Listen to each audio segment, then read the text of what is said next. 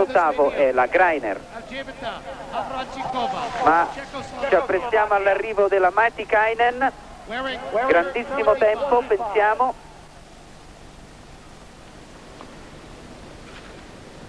Della Mario Matikainen.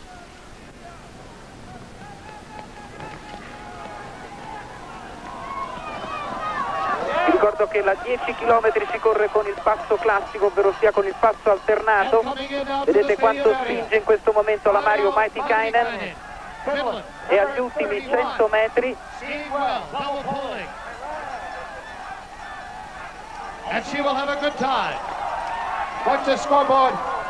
E Mario Matikainen.